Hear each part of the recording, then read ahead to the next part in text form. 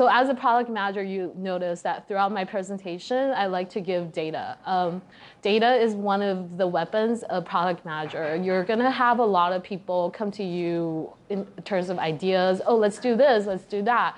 And then um, usually they have some fancy job title and you don't know what to do. So I always arm myself with data and like I memorize the data and understanding the customer we're serving. And I use that as sort of negotiating power and leverage um, to talk about why you're saying no. or maybe you're saying yes. but even data uh, really speaks volume because it means you understand the brand DNA and you understand the customer profile.